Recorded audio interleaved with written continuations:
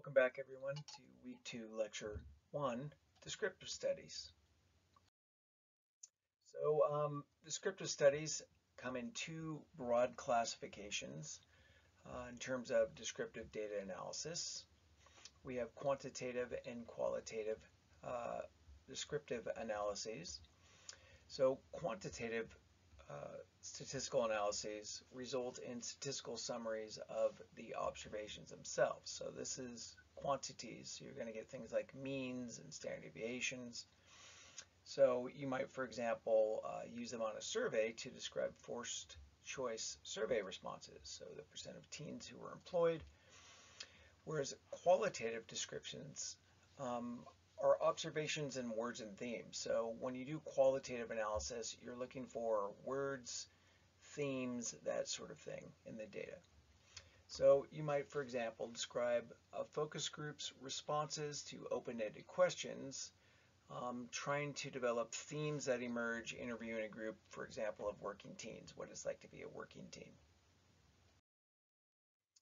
So not so shockingly, descriptive studies uh, describe things. So they summarize and describe the characteristics of some group, person, phenomena. And there are five types we're going to talk about today. There's case studies, naturalistic observation, also called field research, systematic observation, archival research, which is kind of fun, like that, that for example, is a uh, analysis of uh, folks who uh, jumped off the Golden Gate Bridge, which side uh, in the frequency. And finally, survey research, which does end up getting its own lecture. So case studies are in-depth studies describing specific individuals, groups, phenomena, or behavior through documents, could be interviews, and it could just be out there doing observation. So it's not necessarily the case that case studies are done in their natural setting. For example, you could do a case study of someone who's no longer alive. The goals of case studies are to illustrate some phenomenon of interest. So if you think about Watson back in the day, he's a behaviorist. Um, he wanted to demonstrate that uh, fear of fuzzy white things would generalize to other fuzzy white things. And so we did a case study of that. The video is actually up on uh, YouTube. It's awful what they did to this kid. Um, another goal might be to demonstrate the effects of some intervention or technique. So for example, you want to demonstrate one approach to treating uh, agoraphobia is to give iPods or, or music um, to folks who have agoraphobia and see if it uh, they gain access to the outside world, being able to use uh, that sort of intervention. If you wrote that up, that would be a case study. And the third reason is to provide evidence to examine or develop a theory. So some good historical cases of this, Piaget, for example, developed his theory of cognitive development. Uh, those stages, watching um, his nieces and nephews at play.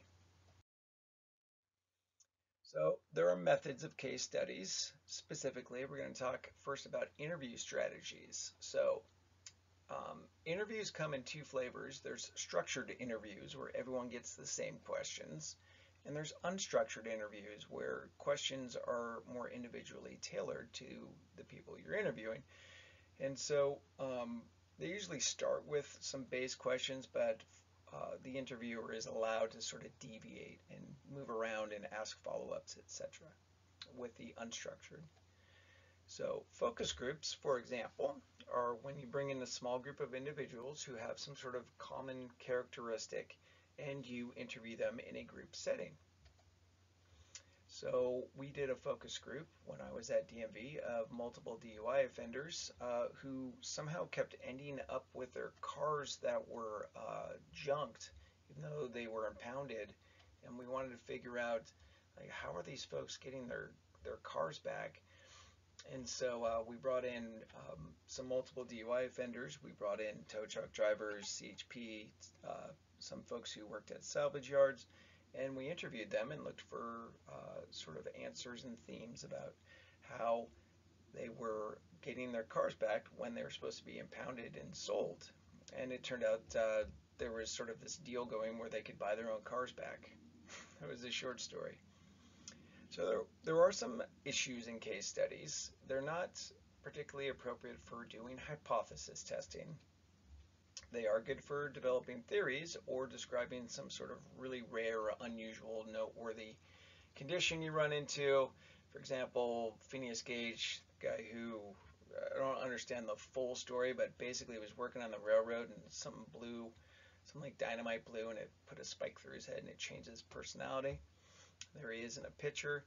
Uh, feral children, you know, like Mowgli. So uh, if you wanted to describe that sort of situation, that would be a case study. Split brain persons, where they, they still split the brain for severe seizures, for example.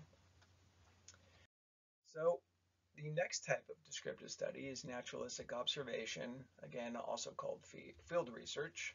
And these are descriptions of behaviors and social processes in their natural setting.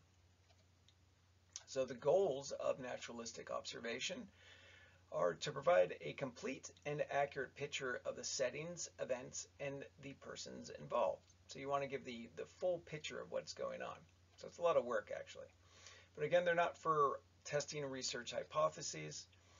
Another goal is uh, objective interpretation of the events that occurred without some sort of prior hypothesis. So again, you're trying to be objective about what you're observing, record everything, write it down. so it's generally exploratory because the purpose is to describe something rather than explain or predict specific behaviors. So you're just describing, not so shockingly, it's a descriptive type of study. So you usually do not manipulate variables in naturalistic observation, but sometimes they do.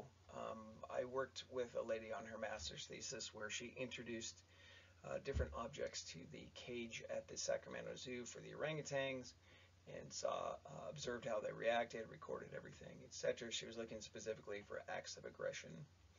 And so she was manipulating whether it was food or a toy or that sort of thing. So you do take measurements, um, but you're not trying to find causes of behavior. Again, these are generally for developing hypotheses, not for testing them. So some methods, you immerse yourself in the setting that you want to study. That is how you do a case study. So you, uh, if you were interested in furries, you would go to a furry convention or a furry party or whatever furries do. You would observe everything, take field notes, you would want to talk to the key people involved in being a furry. And you frequently actually have to limit the scope of your observations because there's so much going on that you need to sort of limit things down to just the behaviors that are the most relevant to what you're interested in for your study. So the data are usually qualitative, so you're coming up with themes of things you see rather than quantitative. You're not getting means, you're getting um, general themes of things. So the, the chat roulette was this thing where uh, you could go on the internet and randomly meet up with someone else who had a webcam back in the day. And um, uh, in terms of doing a descriptive study on there, it, it was quite interesting, um, sort of uh, what, what what was going on on, on chat roulette. So I'll just leave it at that. I think it speaks for itself. So there are also some issues with naturalistic observation. Do you want to be an active or a passive participant in the phenomenon you're studying? So active participation, which is also called a participant observer, you actually do become a participant in the group or phenomena you're studying. So if you're studying furries, you would, you know, be a furry um, while you were studying it. So um, the Rosenhan 1973 psychiatric study is a good example of this, where he sent eight grad students who faked sort of vague syndromes to different psychiatric hospitals throughout the U.S. And um, they were participant observers. They were actively participating, and uh, it resulted in a, a, mean of about 19 days admitted, including Rosenhan himself, if I am not mistaken. But they were indeed trying to uh, actively participate to see what it's like to be uh, a mental health hospital patient. So one of the good things about being an active participant is you, you get sort of the inside look at the situation. So you get, you get to see more what the true situation is like one of the downsides of being an active participant is your measurements tend to be biased. So you can lose objectivity, which is also called going native, because you're you're experiencing the thing that your uh, participants who you're observing are experiencing. Um, you tend to interpret things less objectively, and that's called going native. So the other type of participation uh, is to not participate. It's called passive participation, and that's where you know you're still observing the phenomena, but you're doing it from the outside. You're not actively participating. So if you wanted to look at car culture, for example, you could go to rallies and shows and just observe what you see at you know car rallies and shows, as opposed to active participation would be buying a car and you know getting it all souped up and maybe even participating um, in uh, the the uh, activities that go on. So that would be uh, an active participant.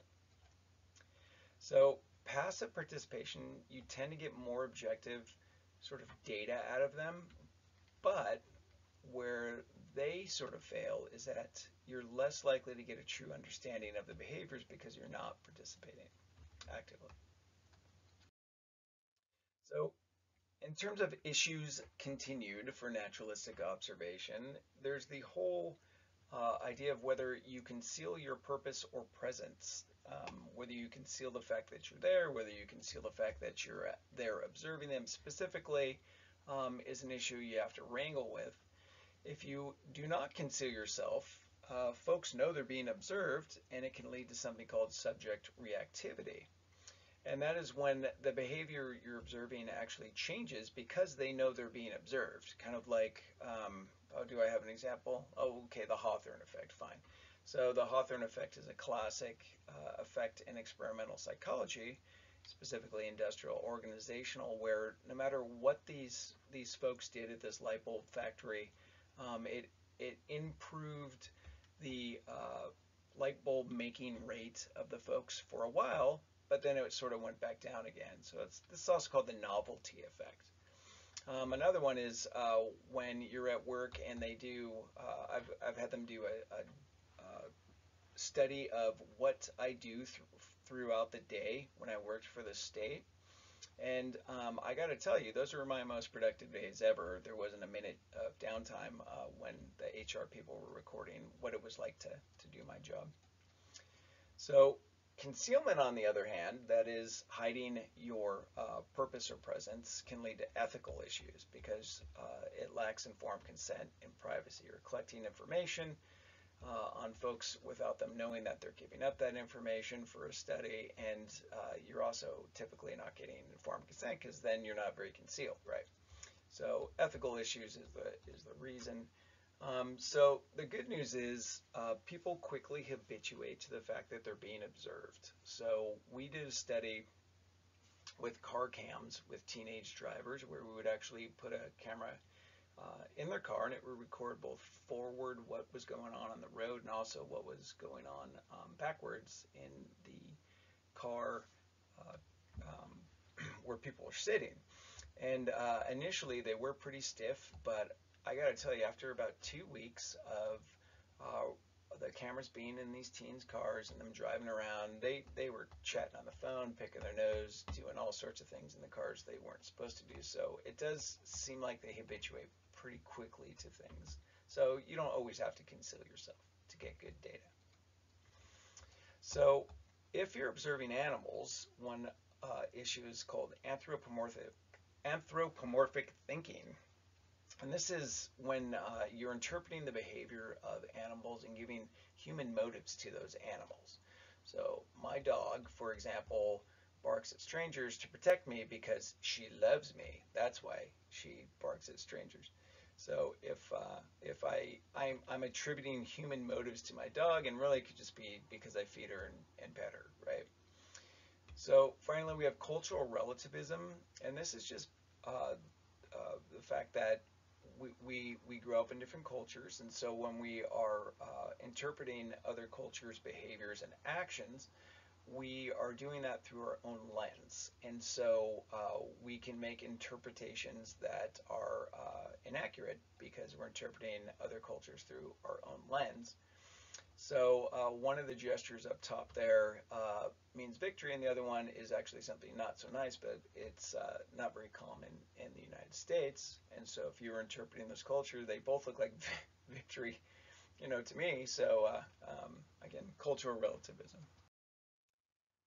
So third type of descriptive study is systematic observation. So this is kind of the, the craziest one. And this is when you carefully observe one or more specific behaviors in a particular setting. So the goals of these studies are to describe specific types of behaviors in a setting.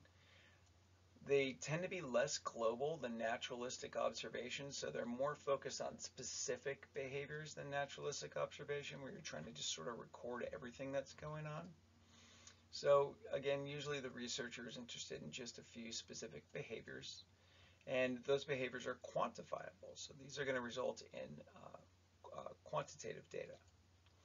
So the researcher will frequently have hypotheses about the behaviors that they're going to observe.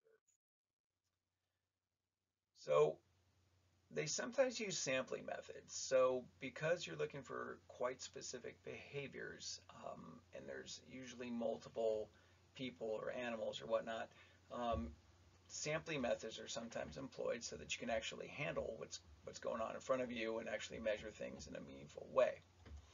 So continuous sampling is not that. Continuous sampling is that you just observe for a time period what's going on. You record absolutely everything that's going on um, throughout that time period.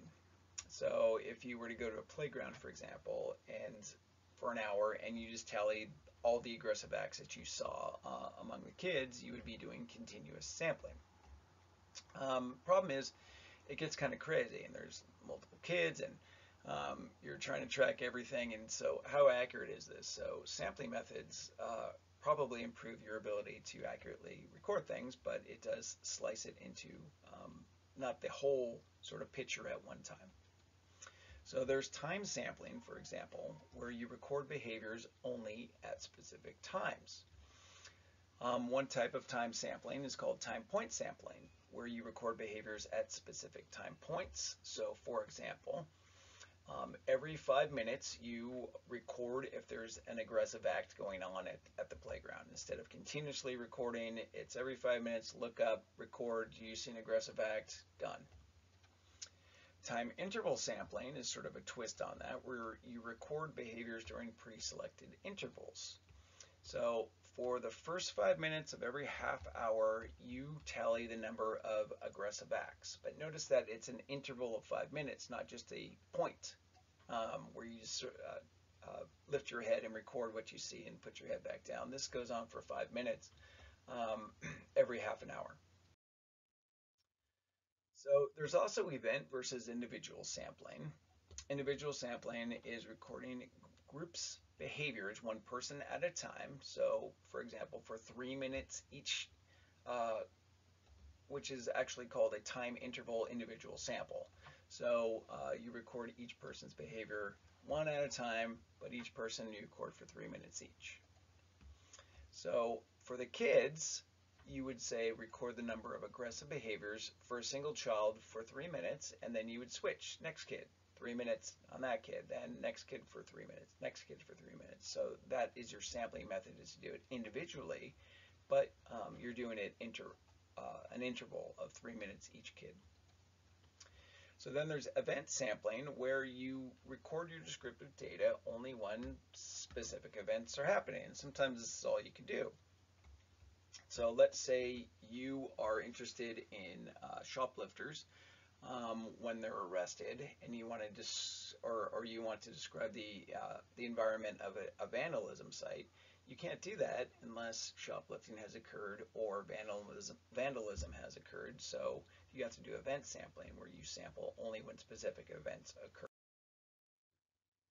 So some issues, uh, you have to come up with a coding system and it needs to be simple because you're recording, you know, for example, aggressive acts. You need to have a very simple way of recording that information because you're both observing and recording at the same time.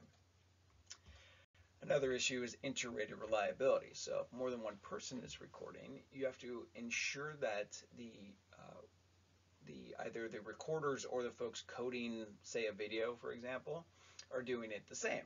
So in this example, you've got uh, one, three twos and then one person given a five. So that person has low inter-rater reliability um, because uh, uh, they're clearly not giving the same score for the same behaviors. So almost final, we have archival research, and this is fun. Um, and occasionally someone will do their dissertation using archival research, and it's kind of recommended because all the data is already collected. This is analysis of records or artifacts to answer your research questions. You're going back in time and looking at things. The goals is to use existing information or artifacts to study past behavior. So you're looking at things in the past. So this is a, a plot of suicide rates, for example, in the United States uh, among males um, way back in the day up till 1959. You can see there's particular times when things sort of were very high in the late 20s. You can see suicide rates were kind of high for all age groups. In fact, it's the peak for all age groups um, and that was the Great Depression. And you can see other times when the suicide rates were particularly low, uh, except for 75 years and older, and those are uh, from uh, looks like four, the mid 40s or the early 40s, and that's because World War II, uh, everyone was out fighting and um, not not committing suicide apparently. So you can use these to test hypotheses. So uh, for example, here's a graph from a friend of mine at the uh, Department of Developmental Services that shows um, the, how their caseload from 1993 to 2007 changed. Um, the two lines are autism versus intellectual disability. And one of the hypotheses uh, about the increase in autism that we in prevalence that we've seen is that it's really just reclassification of intellectual disabilities as autistic. Because uh, you know autism there are ways to um, uh, improve your child's outcome with autism. So the thought was that indeed um, folks might be going for an autism diagnosis. Plus there's actually more money available for help than intellectual disability. And looking at the plots it does appear that uh, the the at least some portion of the increase in autism uh, in California is accounted for by reclassification of intellectual disability. You can see one's going down, one's going up, and they tend to coincide. So what are the methods? Well, uh, you got to find some data, and this can be anything from statistical records, so like U.S. Census data, for example, uh, the BRFSS uh, survey of, of high schoolers, uh, the famous study by Emile Durkheim of suicides in France. Uh, you can look at survey archives. Again, there are surveys that are done like every year and have been done every year for, you know, 20, 30 years uh, of the same group. So you can look at, at changes over time in groups. And that's like the BRFSS, which got I can't remember what it stands for, Behavioral Research something something survey. Um, but uh, they look at uh, teen behavior over time, and you can look at uh, drug use or suicidal ideation. Those sorts of things have changed over time, and their data is free and it already exists. You can also look at written records. So you might do an analysis of letters or sort of uh, news article topics, that sort of thing.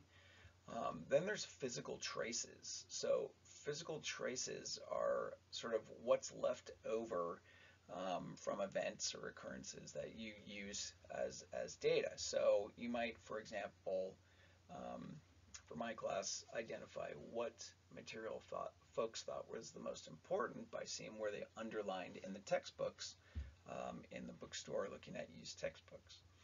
Or at a concert, for example, or a, a street race, you might look at where folks, uh, what, what folks left behind in terms of trash, from the crowd, or uh, you could look um, at tire marks on the street to figure out what sorts of behaviors are going on in street racing. Those would all be physical traces. So content analysis is one specific type of archival research where you systematically study the information that's available in written documents. So you might, for example, study suicide notes and come up with a analysis of the the reasons that folks state for ending their lives in suicide notes and how maybe those change over time. So when you do content analysis, there are two types of content that you're looking for. One is sort of manifest content, which is the obvious, you know, what the words say on the surface. We call that manifest content. Um, so you might, for example, count the number of positives and negative adjectives that folks use to describe their life situation in these suicide notes. And that would be just counting what's literally on the surface, and that's manifest content. The other type of content is latent content, where you are looking for hidden, sort of like innuendo or sarcasm, that sort of thing. You're inferring it from the material. So, uh, because sarcasm might help you uh, identify hidden motives of what's really going on. Thanks, you know, that kind of thing. So uh, again, manifest is what's on the surface in terms of the content. Latent is sort of the underlying, sort of hidden um, uh, meaning in what you're reviewing.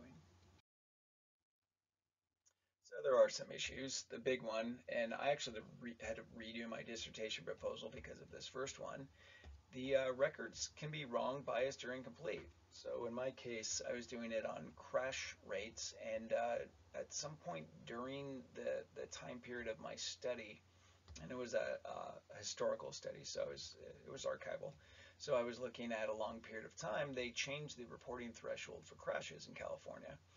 So initially, uh, they had to be, uh, I think it was like $750 or more. You had to report it during my study, there was this sort of weird drop in crashes, just total crashes, and I didn't understand why um, until I, I found out, oh, they changed the reporting threshold so that you didn't have to report a crash unless there was $1,000 worth of damage at some point. So the data were just garbage. I couldn't do a, a longitudinal analysis, and so I actually had to go back, redo um, my dissertation proposal. So be aware, check the data before you get too deep um, because the records can be wrong, biased, or incomplete. So your interpretations of historical records or what caused changes in those series, like I just did with the suicide rates, saying, well, that was the Great Depression and that was World War II, um, can be flawed. So we can make uh, mistakes when we do that because we don't understand fully the historical issues involved.